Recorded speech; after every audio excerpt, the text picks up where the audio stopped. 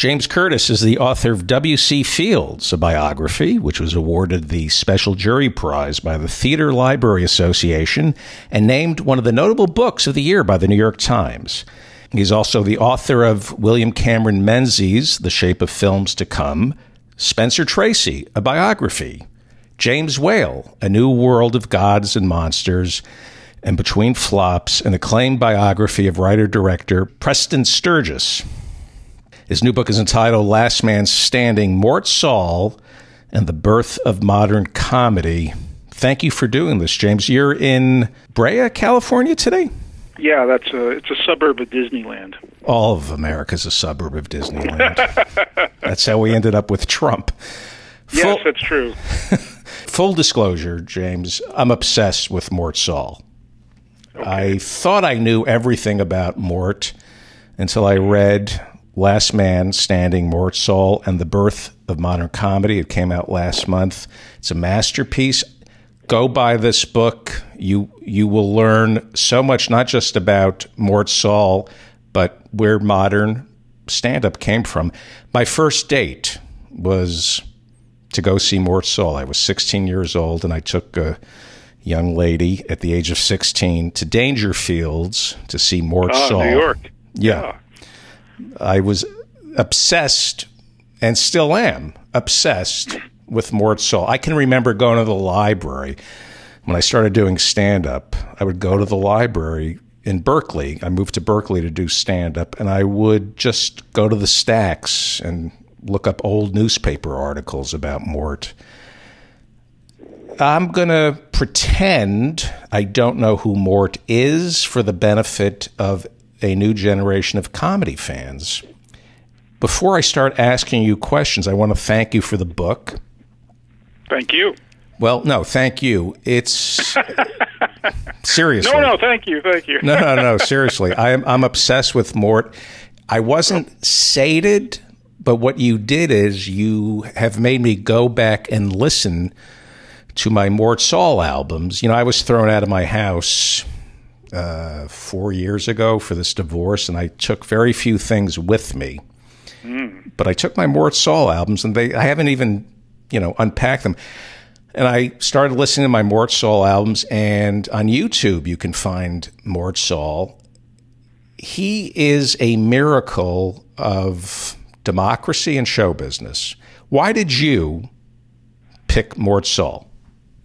Well, let's see. I, I, I feel I've always had very good luck in terms of the quality of the subjects that I've uh, been able to work on, and uh, Mort uh, continues in that tradition. I, I I've always been fascinated by Mort, and I always thought that he merited a biography. It's a unique story, unique American, uniquely American story, I guess I should say. And uh, so I considered it for years kind of talked myself out of it on a couple of occasions because I had always done uh, long deceased subjects, and I uh, was a little intimidated by doing a living one. But uh, in this particular case, it worked out well, and uh, I'm happy to have done it. Uh, I first discovered him in 1966 here in Los Angeles when uh, he had a TV series on KTTV, uh, the local Metro Media outlet out here, mm-hmm. and uh, uh, it was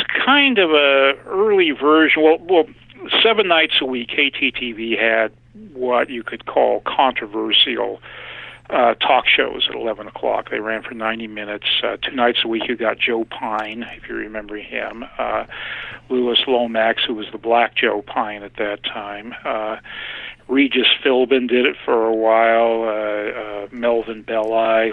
Uh, and on Friday night, they uh, gave that slot eventually to Mort, and he came in and started to do a uh, 90 minute talk show each week. Uh, and I just found him fascinating from the very first. Mort's mm-hmm. show was canceled due to bad ratings. Then what happened? Then what happened was they found. Uh, well, first of all, there was a tremendous groundswell of protest. Uh, there was a listenership that was absolutely rabid, and uh, they took up arms, figuratively speaking, and uh, proceeded to uh, inundate the station, the station management, with uh, correspondence mail as we knew it back then, and. Um, uh, then miraculously, uh, they found another set of ratings that showed that Mort's uh, numbers were actually better than they had thought. He was a hit. Uh, he was a he huge... was a hit. He was a hit, and uh, what happened was after a short period of time at 90 minutes, uh, Mort took on uh, a, a little um, troupe of uh, comedy sketch artists. Uh, he was kind of a very early prehistoric version of Saturday Night Live, and uh, they would perform topical sketches with the week's news. And uh, you had people like Pat McCormick and Ann Elder who were part of that. Mm-hmm. And, Lily uh, Tomlin's partner, Ann Elder.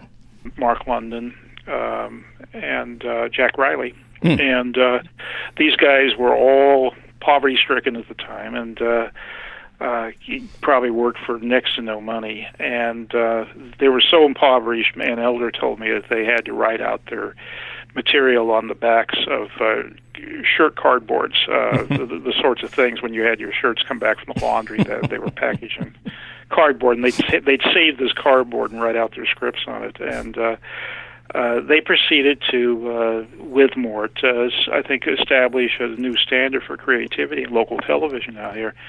And um, uh, it was the place to be for a while. It was uh, really a remarkable show. In your book, Last Man Standing Mort Sahl and the Birth of Modern Comedy, you interview Ann Elder. She went on mm-hmm. to work with Lily Tomlin, win countless Emmys.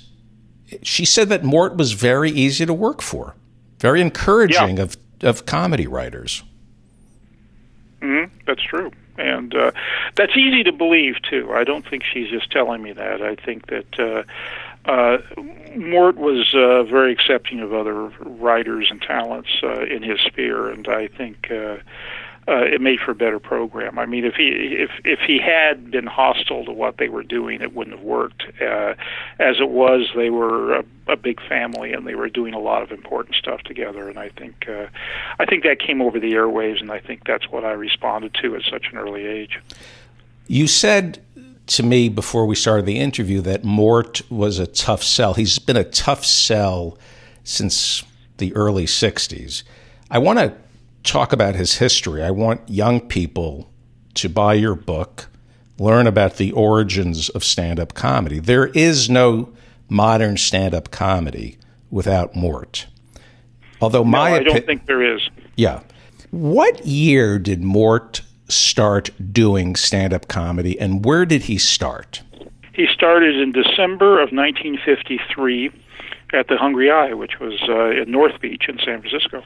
And who owned the Hungry i? Enrico Banducci, who was a restaurateur, uh, very flamboyant character. Uh, old, trademark was wearing a beret at all times, which uh, I think he did to the very end of his life. Uh, and uh, the Hungry i was in the basement of a Flatiron building on Columbus, uh, which cuts right through the center of North Beach. Uh, the building is still there. It's now owned by Francis Ford. Coppola. Mm-hmm. It's Beautiful the, uh, building, yeah. Yeah, it is. It's a Zoetrope building. I don't think it was quite in the state of repair back then as it is today, but uh, in the basement of that particular building was the Hungry i, and it was a little kind of thrown together uh, night spot. Uh, mulled wine is what they served at the bar, and uh, so uh, and like, and this is a pattern that Mort encountered throughout his early career was it was strictly a uh, music venue until Mort was brought in. Uh, actually, Mort was next to poverty himself at the time, and uh, he was brought in to cover a week when uh, the featured singer uh, was away during Christmas season. And uh, Mort just got up there and started to try to figure out how to put across what he had in his head about. Uh, uh, a new kind of commentary, a new kind of uh, social satire, and right. uh, wasn't a lot of politics early on. Uh, but if you think about that period, the top comedians of the day on television, you had people like Jackie Gleason. Uh, and Milton Berle, of course. Uh, and if you saw somebody in a nightclub or a live uh, theater of some sort, they were typically in a tuxedo or otherwise dressed to the nines, and uh, they were telling uh, Borscht Belt material, uh, Mm-hmm. mother-in-law jokes. My wife is wife is so fat, that sort of stuff, and. Uh, so Mort didn't traffic in that stuff. He didn't have the Catskills uh, indoctrination, if you will, and so uh, he had a completely different line of uh, reasoning, a completely different way of presenting himself. And uh, he said very early on, uh, I got to thinking what kind of character would ruminate on this sort of material, and he came up with the graduate student persona. And uh, Was he a so he graduate up- student? Was he a graduate? no, he student? wasn't. Did he go to Not at the college? time. Did he go to college? Oh yeah, he was. He has a degree in civil engineering from USC, and he started to do uh, uh, advanced studies and uh, kind of uh, walked away from it at some point. And when he was up in Berkeley, he was essentially there because his girlfriend had uh, gone up there, and he followed her. And uh, so he was kind of a vagrant around town at that point. Uh, they had old night coffee shops and the like, and uh, he would uh, hang out where he was always a kind of a nocturnal character, and uh, so he would hang out and uh, debate people and uh, kind of hone what he had to say in his own particular peculiar way, and uh, that's what was put forth at the Hungry i. It was December twenty second, nineteen fifty three. The mythology about Mort is he came to the Hungry i fully formed on that night. He was living in Berkeley. Where did Yeah, he get right. his comedy chops? I mean, I can't imagine that the first time he ever got in front of an audience was at the Hungry i. Well, it, it was. There was a little bit ahead of that, but it wasn't professional. Uh, uh, he he was kind of a roadie for uh, Stan Kenton uh, at, at earlier on, and uh, Mm-hmm. Who was Stan Kenton? When Who was Stan Kenton? Stan Kenton was uh, one of the great uh, West Coast band leaders uh, of the swing era, and uh, he had a kind of uh, uh, uh, following all all his own. Uh, Stan Kenton was very loud, very brassy. I'm talking in terms of his music. Uh, he was a very bombastic piano player, and Mort uh, appreciated the idea that he was all out. I mean, there is nothing modulated about Stan Kenton and his music, and uh, he really was the leader of the West Coast jazz movement in the 40s and late 30s, and and uh, he had a number of people, personnel with his band that uh, went on to great solo careers, uh, including his uh, vocalist Anita O'Day, originally June Christy. After that, uh, so uh, Stan Kenton was a tremendously influential guy, and Mort just uh, had a bad case of hero worship. Uh, so occasionally, Stan Kenton, Stan Kenton could fill the Palladium, six thousand people on a Saturday night, and occasionally he would allow Mort, if it was arrangeable, to go up on stage when the band took their break, and So- he try to make Mort. impression. But it, this was not a paid gig. Okay, so Mort, his analog for an open mic was before the Hungry i. He was a roadie for Stan Kenton, and then Stan let him get up on stage. So he got his comedy chops working for swing and jazz audiences, basically. Yeah, that's it. Uh, he and Lenny Bruce, both, although Lenny Bruce at the time was working strip clubs and uh, was doing a fairly conventional act. Uh, Lenny Bruce was doing movie parodies and imitations, that sort of thing. Uh, so it was the example that I think Mort set that inspired Lenny Bruce to push the envelope in his own direction. What was Mort thinking as a roadie for Kenton and getting up? Did he have aspirations of being a nightclub comic? I'm not sure he was that. It was an idea that was fully formed in his mind at that time. Uh, he he loved the music, uh, and he had a peculiar way of looking at things, a distinctive way of looking at things, and he was very uh, articulate. Uh, he could fascinate people with the way he spoke and what he had to say, how he put things, and uh, that's true to this day. Um, and it's hard to say where that came from. You know, at a certain point, it just becomes uh, a, a certain level of genius that that he was able to put things the way that he did. He he came out of no established pattern of any sort. I Right. mean, there's nobody that really predates him. Uh, Right.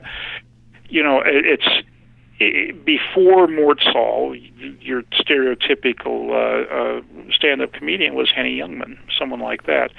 Um, nobody dared delve deeply into the political uh, minutia that Mort got into. Uh, primarily because it was the early 50s and it was considered dangerous. You didn't yeah. get up on stage and knock Senator Joseph McCarthy. Comics you know, watch other comics. Uh, you know, at first, for lack of a better word, they steal the cadences and the rhythms and mm-hmm. the areas of their comedic heroes before they find their own style and mm-hmm. voice. I know that Mort is the Steve Wozniak of modern stand up. He's a god, but he did not spring fully formed. There had to be somebody besides jazz musicians who he was getting his rhythms from. There was there some kind of underground intellectual circuit that he pulled from.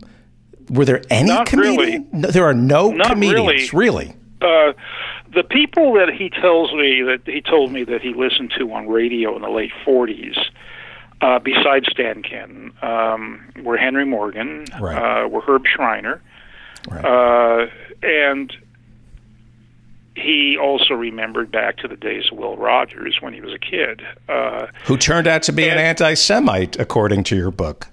Well, that's that's Mort's judgment. I don't think it's necessarily a, a, a, as simple as that, but uh, uh, I think that uh, I, I think that where Mort came from uh, was a result of the reading he did, was a result of the people he hung out with, was a result of what he heard on radio, what he heard in the media. Uh, but there was no particular comedian who did exactly what he did. Uh, the irreverence, I, I can pretty much trace back to Henry Morgan, of course. Mm-hmm. Uh, the um, the way, the casual way of ruminating on subjects of significance, uh, you could say, came from Herb Shriner to some degree, who was uh, a latter day Will Rogers type. Uh, and uh, but but I do think that a lot of the delivery was influenced by the music that he carried in his head, and uh, was not a musician himself, but he had such a wonderful appreciation for it, and where the notes hit uh, in a musician's ear, that's where the words hit for Mort. And uh, I think that how Mort was able to ingratiate himself with the musicians and, in effect, become accepted as one of them uh, made a tremendous amount of sense when it came to how he developed, how he formed, uh, and also how he was able to essentially strike out and set up a network of clubs around the country that were strictly music venues until he came in his style, if I go back and listen to his albums, mm. he takes a theme like a jazz musician and then goes as far away as he possibly can from that theme till mm-hmm. right before, on the precipice of losing the theme, and then he goes back to it. That's what a jazz combo does, and that's what he does mm-hmm. in a live performance. He tells some mm-hmm. kind of story about something and ventures as far away as he possibly can from what he was talking about, then brings it back. So he learned that, I would assume, being around great jazz musicians. Did he play an instrument? No, no, he had no no chops in that uh, respect at all. Uh, he couldn't play, he couldn't sing, uh, but he appreciated the stuff, and he, they appreciated him. His entrepreneurial spirit. You say in the book, and you just said it, that he was smart enough to know that he couldn't play mainstream clubs, maybe Mr. Kelly's in Chicago and eventually the Playboy Club for Hugh Hefner. But for the most part, he gravitated to specifically jazz rooms. That that's true. And that's smart business sense, right? He knew well, that he. The, the Hungry i was essentially a, a folk um, venue when when uh, Mort went in there all of these cases, without exception, were music exclusively policy rooms until Mort came in. That's true of Mr. Kelly's, that's true of the Blue Note, that's true of the Hungry i, it's true of Storyville in Boston, it's true of uh, of uh, Basin Street East in New York City. It was true of the the um, the uh, Crescendo in Los Angeles and the interlude above the crescendo. All of these places, without exception, were strictly musical venues until he came in for the first time. And in each case, it was considered a risk on the part of the proprietor to bring someone like him in. It's a category that was known at the time, if you went into the record stores, spoken word. But uh, uh, uh, Mort had this unique appeal to the audiences that sought out and appreciated the music. And uh, that's the connection that he forged. That's the connection he forged in setting up that informal network of uh, clubs. And once he had done that, then that same network is available to Lenny Bruce and Shelley Berman and Mike Nichols and Elaine May and uh, the other uh, exponents of the uh, so-called smart comedy movement, Smothers Brothers, Woody Allen, etc. The first label that he was recorded on you say was Verve? Verve, correct. He brought Shelley Berman in and the Smothers. He brought Shelley Berman in. He brought uh, he brought Jonathan Winters in, uh, and Shelley Berman uh, ended up uh, recording his first album, his first comedy album, uh, which I'm trying to think now was it recorded at the Hungry Eye? I can't remember now. Um, called Inside Shelley Berman was a tremendous hit. It sold in the tens of thousands, and he underwrote by his sales a lot of musicians that Norman Granz recorded at Verve that uh, could not uh, have been recorded uh, otherwise. Uh, some definite money losers, but great albums nonetheless. Yeah, and Shelley Berman. So for a period, comedy was keeping jazz alive. That's true. That's hmm, true. That's interesting. Well, you know, one of the interesting things because I interviewed Shelley Berman for the book, and he started in Chicago, and he he like Mort did not work the Catskills. That was not his his thing. He did not have that burden. He did not have that influence, which was great for him. But what I realized about Shelley Berman and what got emphasized to me was that Shelley Berman didn't come uh, as a stand-up comic or as a comic that was going to get up in front of audiences and do routines as he did finally, but uh, rather he was a rather gifted uh, Shakespearean actor. And uh, when he was first there in Chicago discovering Mort, he was uh, with the Compass Group. It was a, a improvisational uh, comedy group, and uh, as were Mike Nichols and Elaine May. And uh, so Shelley Berman's evolution to the point where he could get up in front of an audience by himself in part came because he saw the example of Mort Sahl in Chicago at Mr. Kelly's. Mort, is it fair to say, was the first comic with a college degree? uh, could be. I don't know. Uh, I don't. I haven't surveyed everybody's CV to see if they'll uh, uh, came forth without college. Did Henry Morgan go to college? I'm not sure. No, he didn't. I uh, knew Henry Morgan. He was a big influence on me, and I have a watch that Henry gave me, which I use to get backstage to meet Mort every couple of years. I, I have a watch that Henry Morgan gave me, and Mort lets me in backstage. So he influenced Woody Allen, which I want to get to. But mm-hmm. first, when I started doing comedy, the rap against Mort was he didn't like most stand up comedians.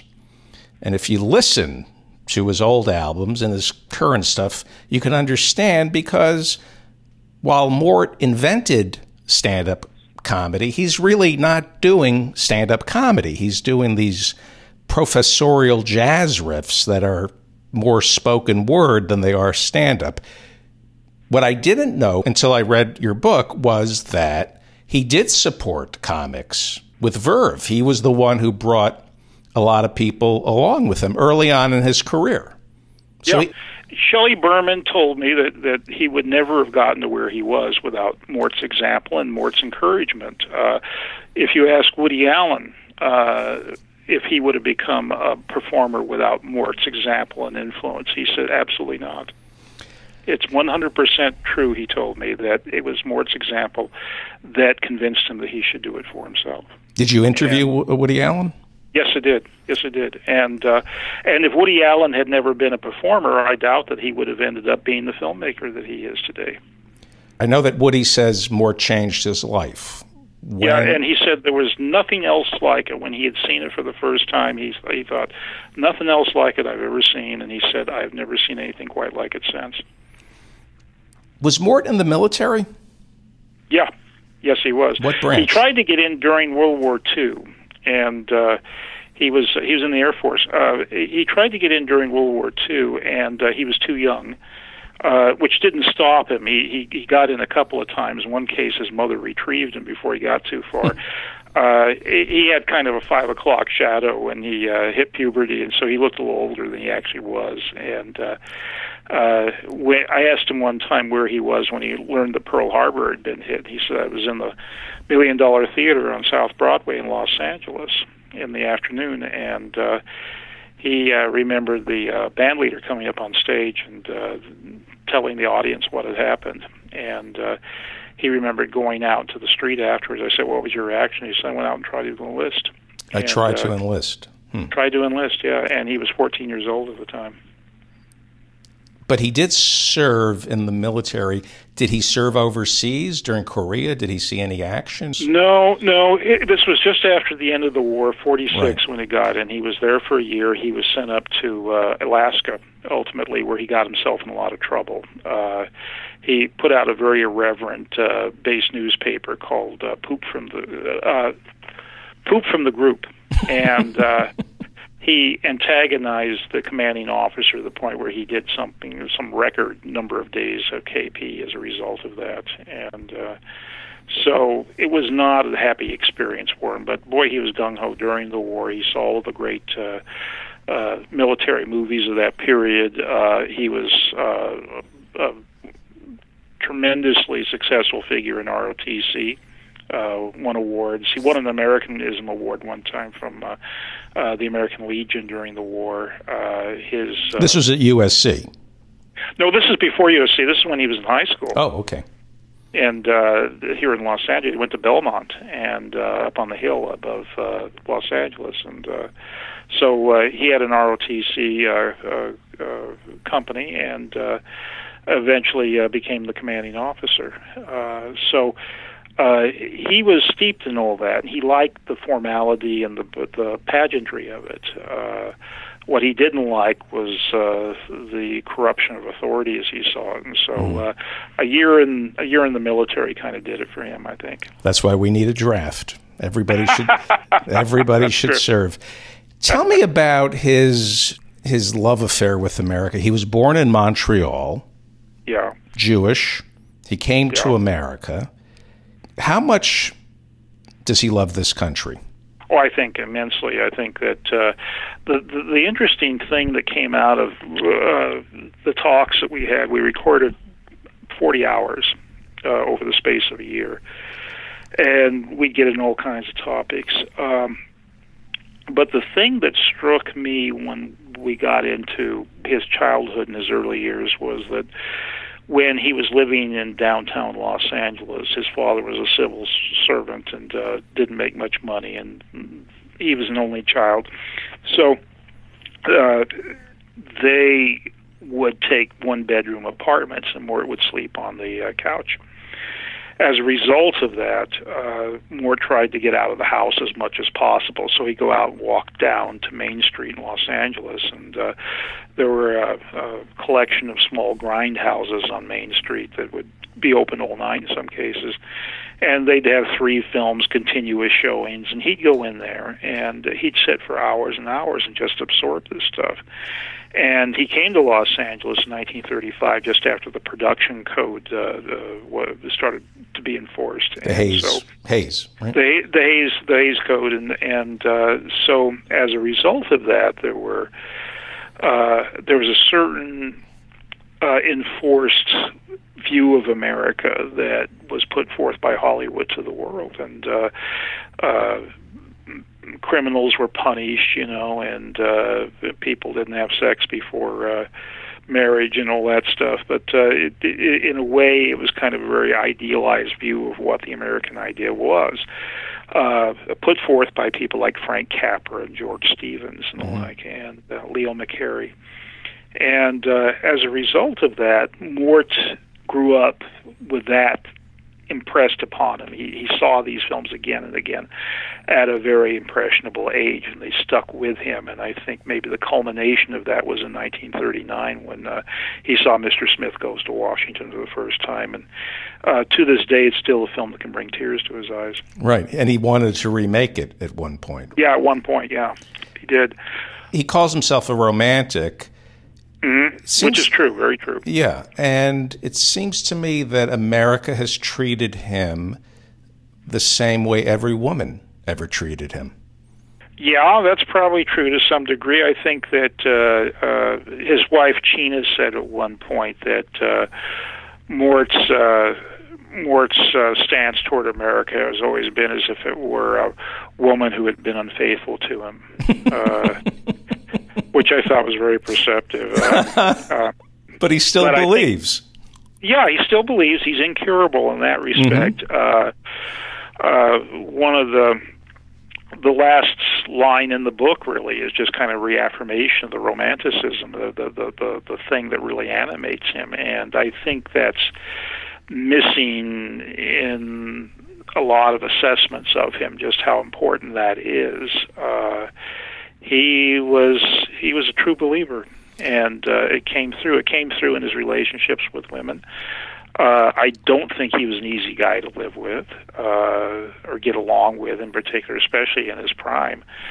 Uh, I think that uh, I I think, however, that uh, uh, he attracted a, a, a fascinating and uh, a really high quality uh, type of woman, and mm-hmm. uh, and uh, uh, it's kind of like a who's who of, what, of who was available at that time that he uh, was seen with and uh, took up with at various points. Uh, everybody from Dyan Cannon to Tippi Hedren to uh, well uh, Yvonne Craig, of course. Uh, uh, Phyllis Kirk. Phyllis Kirk. Uh, just one after the other, and uh, and uh, and China Lee, who was uh, uh, historic in the sense that she was the first uh, Asian centerfold in Playboy. Without prying into his personal life, the takeaway from his, from your book is that she's the love of his life.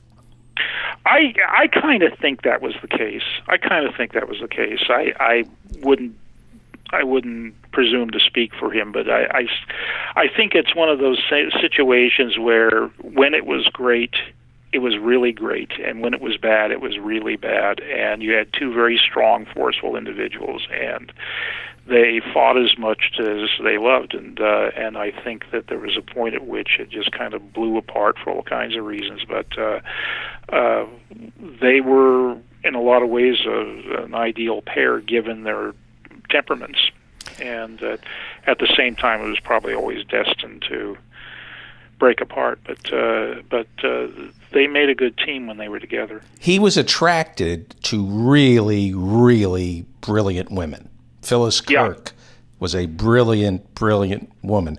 Uh, That's true. Uh, I, I, ch- how's it pronounced? China. China. China. Was it's it? pronounced. It's it's spelled China, but it's it's pronounced China. Also, a brilliant woman. Mm-hmm. He was.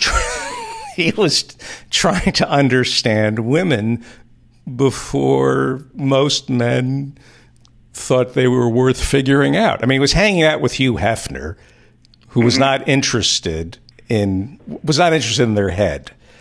No, not at all. But Mort genuinely was thrilled and turned on by a woman's mind. Treated them as intellectual equals and I think a little trouble that he got into with women was he treated them as intellectual equals and may have been misconstrued as a misogynist because he figured they could give as good as they take. That's a fair statement in the early 60s when you're trying to sort this stuff out early on. Yeah, I think so. I think so, sure. Yeah. Women found him sexy, right?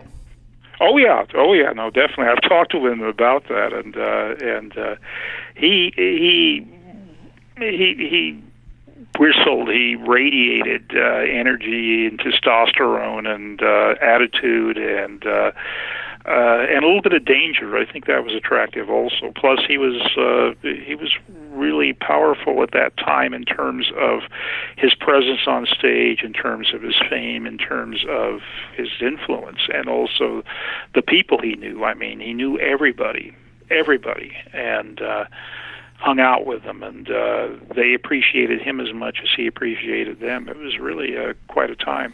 There's a great moment in the book that I remember vividly because it really spoke to me about the problems women faced up until recently. Phyllis Kirk mm-hmm. had an IQ. She was probably smarter than Mort. I think Mort would admit that. She met Jack Kennedy and she wanted to talk to Kennedy. I think it was in Palm Springs. It was some party in Los Angeles. Kennedy, Jack Kennedy, automatically assumed she was making a move on him, when in fact she was an intellectual who wanted to talk to Jack Kennedy, mm-hmm. but she was reduced to a woman. Yeah, he hung out with Warren Beatty, Paul Newman, Marlon he, Brando. Marlon Brando. He almost became more than a character actor, a leading man at one point. They were right? Wasn't he being groomed as an actor?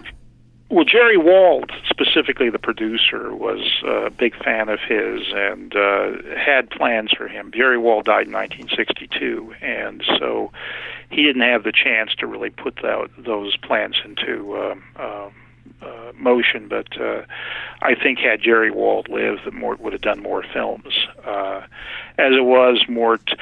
Uh, uh, Yvonne had an interesting thing to say about that, which I think was true because Mort took on some stage work and that sort of thing and and the problem was he was not geared he had a good memory but he was not geared to learning lines uh she said if you were going to do something and improvise it uh, he'd be home free uh, but having to learn and repeat lines the same way every night, that was not something he could do. Or wanted and, to uh, do. Or wanted to do. And, and he said at one point, which I think is absolutely true, that he said, uh, a lot of people can act. I'm the only one that can do what I do. And that's true. I mean, that's that's kind of the the the the trap of true genius is that uh, you do something that's so unique and startling that uh, you kind of you kind of get uh, fall into that pit. You you you can't move sideways. You can't move up or down necessarily because you've got you're you're a captive of that particular gift of yours, and uh, I think that was very true in Mort's case. Uh, nobody else could effectively do what he did. Uh, but as a result of his not being able to say carve out a career for himself in television or movies, that when the nightclub uh, uh, world as we knew it in the early '60s went away, Ward had nowhere to go. Even though he had already learned how to network with jazz clubs, right?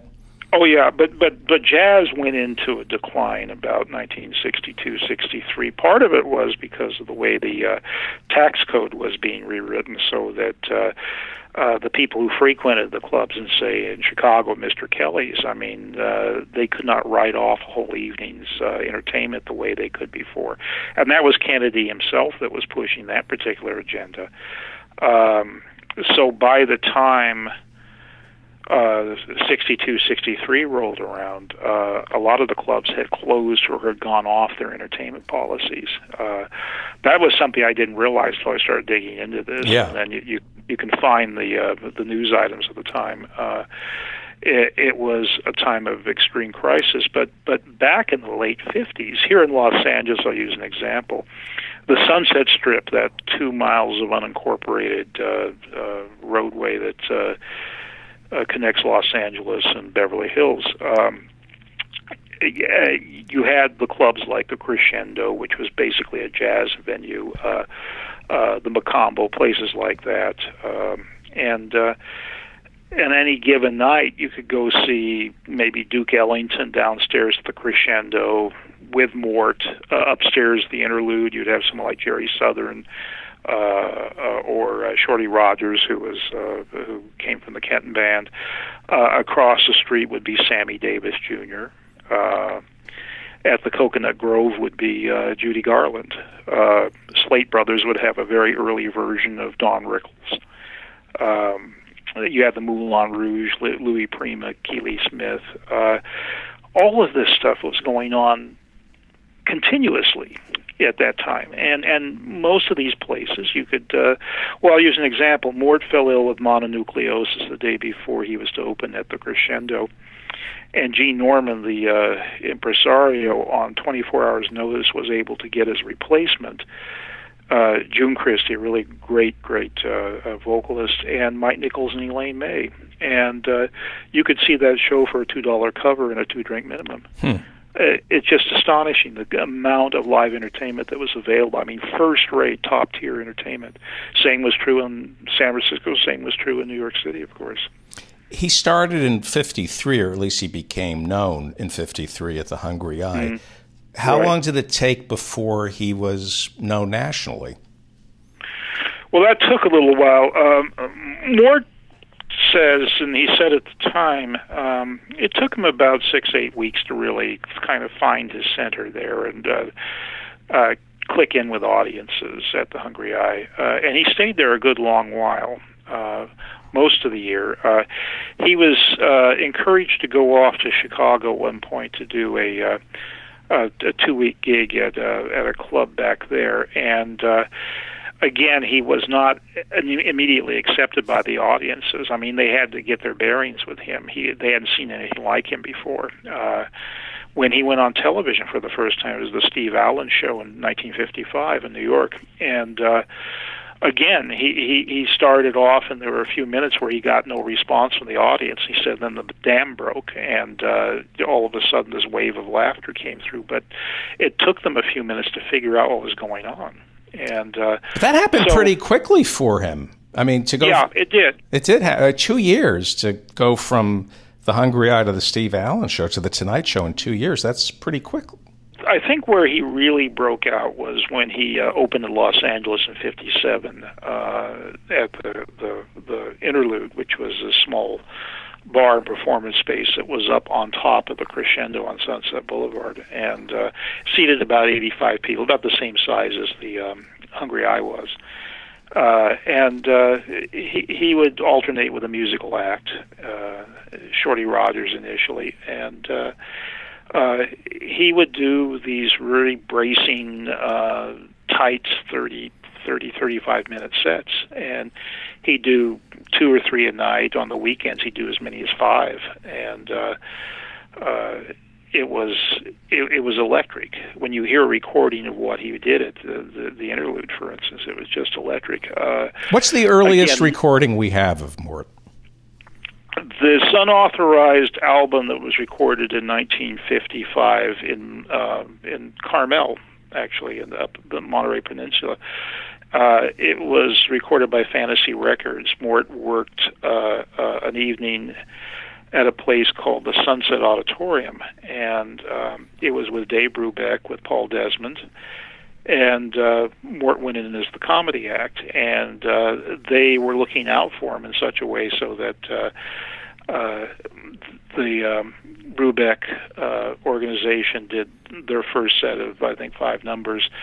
Then Mort came on, and he did about 40 minutes of material. And then Brubeck and Desmond came back and did their uh, final set. And uh, Fantasy Records in Berkeley was recording Brubeck's uh, music uh, for a potential album that night. They had engineers and tape in the back of the room, and uh, as it turned out, they recorded Mort as well, though Mort was unaware of it at the time. And uh, that album was eventually issued as Mort Sahl at Sunset, but it was unauthorized. Uh, it came out after Mort's first official album for Verve, which was called The Future Lies Ahead and uh, Mort had to sue to take the uh, get the album off the market because uh, by that point he considered it dated. It was 1958, and the material was three years. Were they old. were they paying him for that, or they were just ripping? No, it? no, it, it, they were just they they're just pulling a fast one, if you will. And uh, so, if you can find a copy of Mort Saw Sunset uh, these days, it's a real collector's item.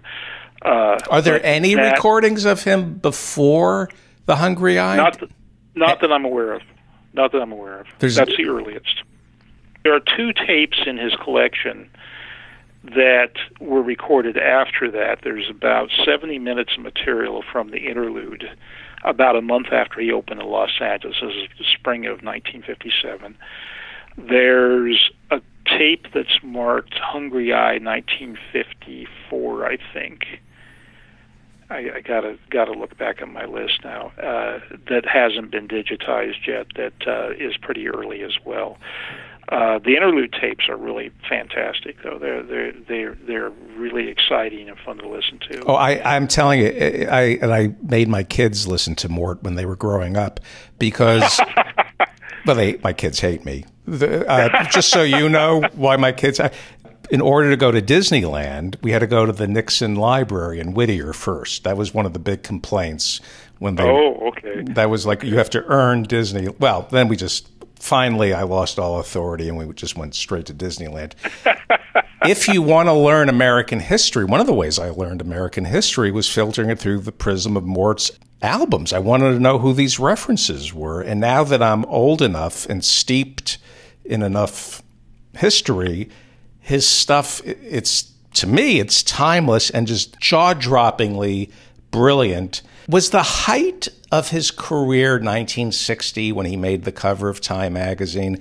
If you were to ask him what was the absolute peak of your career in terms of fame and money and power and influence, hanging out with the Kennedys, was 1960 the zenith? Probably uh, running up to the election in November, sure. And did he suffer once Kennedy got elected because he didn't have any friction? In other words, he was up against Eisenhower, but now you have Kennedy, yeah. which is, you would assume, Kennedy would be what Mort wanted. People would come to him after the show, and when he was knocking Kennedy, and they'd say, "Well, isn't this what you wanted?" And he would say, "You didn't have to do it for me." uh, no, he when he started, he had he was looking at two terms of Eisenhower and Nixon, right. and uh, so he he cut his teeth on Nixon especially, and uh, he had a nice long run with those guys, uh, and uh, he he he participated unofficially in the Kennedy campaign, although he was really a, a Stevenson man, and uh, uh, so the run up to, to the election uh, was really a time of tremendous excitement, uh, not only in show business but in the country as a whole. I, I mean, uh, I remember because I was a kid back then that the the, the real excitement of having uh, a man in the White House, or the prospect of having a guy in the White House who was not only as charismatic as Kennedy was, and boy was he charismatic, but also uh, someone who had actually been born in the 20th century. I mean, mm-hmm. Kennedy was the same age as my father, and uh, uh, all those World War II vets at the time were in their early 40s, and uh, they they had the the world by the tail. And uh,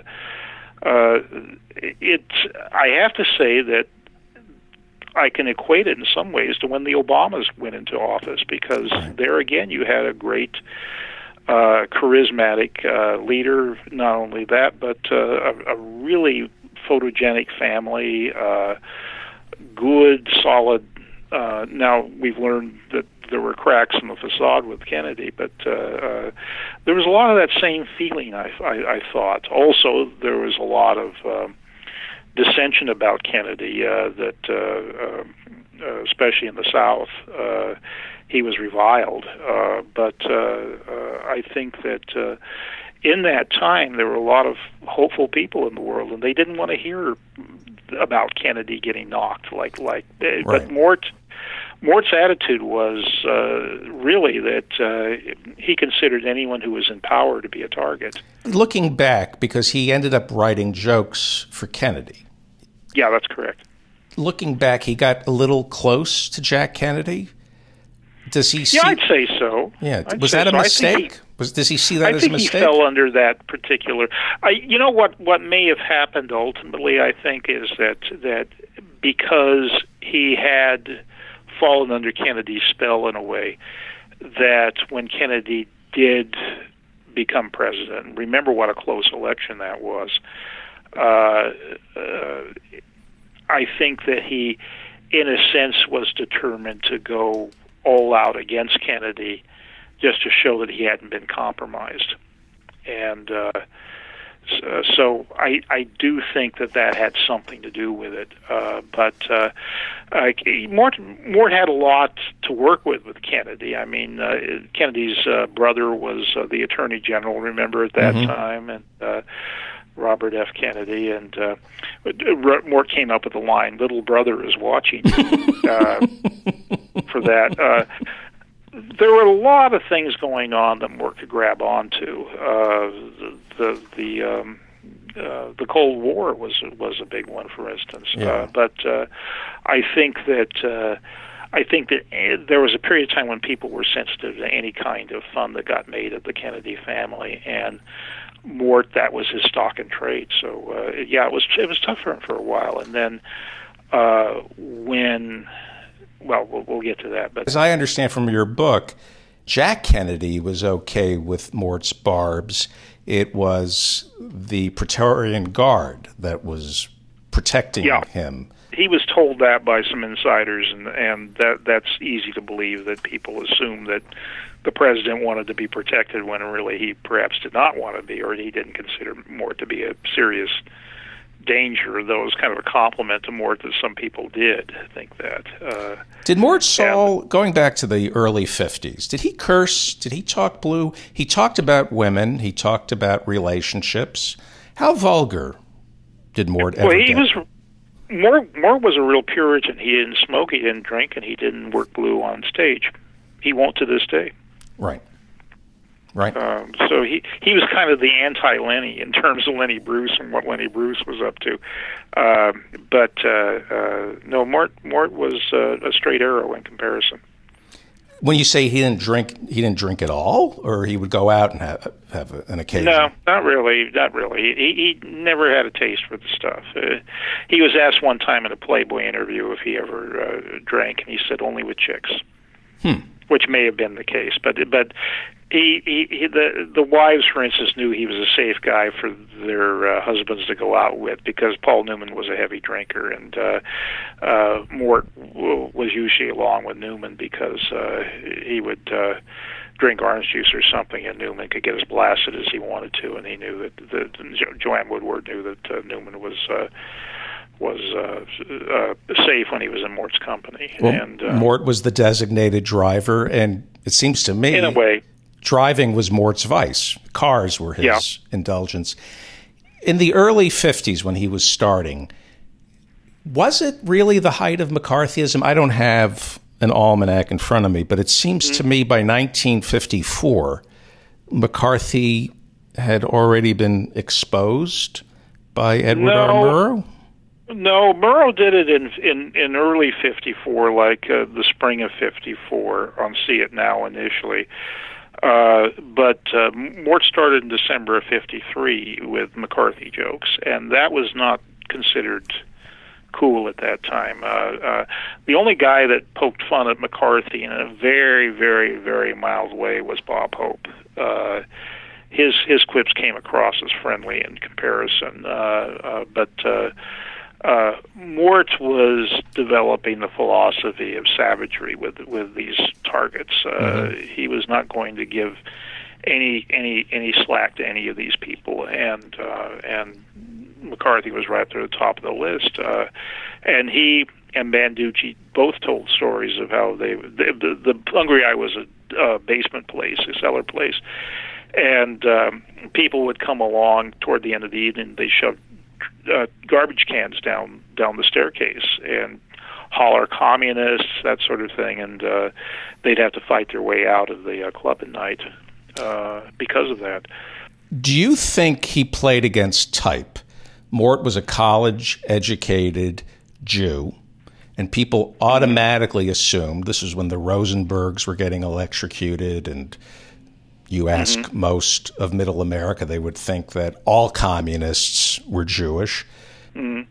Didn't he play against type in that you go and listen to him in the early 50s while he was making jokes about McCarthy, Nixon, and Eisenhower? It was brilliant. It was funny. It was mordant, mordant, but not mm-hmm. vicious, not over the top mostly sly and patriotic, right? It wasn't. Well, was uh, he ever arrested? No, right? He was never arrested. No, no, no, no. He well, he he didn't push the bounds of decency the way uh, uh, uh, Lenny Bruce did. Uh, Lenny did things purposely to get himself arrested. I think. Uh, I think that was part of his persona.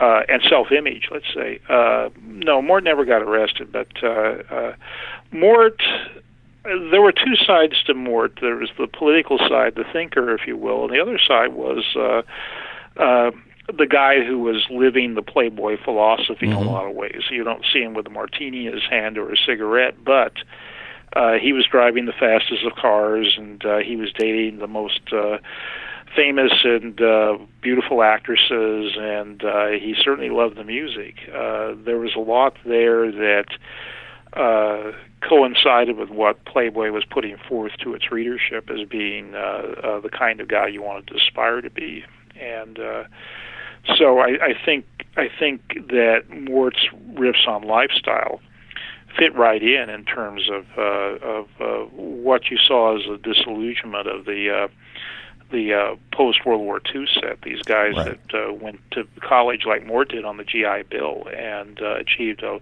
level of financial and uh, personal security, and uh, we're wondering at that point what was left or what what there was to it all. Uh, that the point of it all would be to uh, be able to buy a better better brand of gin, you know, and mm-hmm. uh, live in a bigger house, that sort of thing, and and uh, what did it all add up to? And so Mort's commentary at that time uh, really kind of pointed to that. It was uh, you're getting into the area of the man with the gray flannel suit, you know, which was a big bestseller in the mid '50s. Uh, uh, the idea, the questioning as to what America was putting forth as the ideal, and was it uh, intellectually vacuous? Uh, were there things that one should be considering that were not encouraged at that time? Uh, uh, I think that Mort was the guy that gave voice to that rebellious nature in people, that that that questioning nature in people. Um, a revolutionary, so much as he was. He played it middle class, aspirational when it came, as you said, to women, to toys, to things. Mm-hmm. Yeah. And then the disillusionment, as you said, that comes from pursuing empty things like beautiful women and fancy cars. So that kind of played into the 50s and was well, capital in a sense so he yeah. he was the he was the quintessential playboy uh, uh, role model in a lot of ways and at the same time he was biting that particular hand as it was feeding him right yeah very coy with his politics until this day you cannot yeah. pigeonhole him hey well, let, Go ahead. Yeah. I, w- I was going to wrap it up and invite you back next week because I could talk about Mort Sahl forever. Well, can we do this again? Do Thank you. Sure. I can I can talk about Mort. I had him on my show in 2013 for the 50th anniversary of the Kennedy assassination. There's so much to talk to him about other than the Kennedy assassination. Very quickly before you go, this is just a personal question. Mark Russell, how's mm-hmm. he doing? Uh, very well, as far as I know. Uh, had a nice chat with him. Uh, he gave us a very nice uh, comment for the book and when he read it, and uh, uh, he and his wife Allie uh, live uh, live in Washington to this day. And uh, as far as I know, everything's copacetic with them. Good, good. Well, this has been a thrill. Thank you. You were very generous with your time. Again, thank you for the book. James Curtis is the author of Last Man Standing, Mort Sahl and the birth of modern comedy. You're also the author of W.C. Fields, a biography, which I'm going to go get on my Kindle after we hang up. and a lot of other books. Spencer Tracy, a biography, James Whale, A New World of Gods and Monsters. And between flops, an acclaimed biography of writer director Preston Sturges, I know his son, Preston Sturges. I met him through Jeff Garlin. Very sweet. Oh, uh, Preston or Tar- Tom? Uh, Tom Sturges. Preston? Preston, the, the son. Preston. Yeah. Okay, yeah. He used to live next door to to uh, my friend Jeff Garlin. Well, okay. James Curtis, thank you so much. I will call you next week, and if you can slum it for another hour with me to talk about Mort, nothing would thrill me more. Delighted to do it, and I appreciate your interest. Well, the book is great, and I'm obsessed with Mort Sahl. He influenced an entire century of comedians. I thought I knew everything about him. No book could sate my curiosity about Mort. What you did do was I am now falling asleep at night listening to Mort Sahl, and you have reinvigorated my appreciation for the father of modern stand up comedy. So thank you for that, James Curtis. Your book is Last Man Standing, Mort Sahl, and the Birth of Modern Comedy. I hope to talk to you next week, sir. Thank you, David. Stay on the line for one second.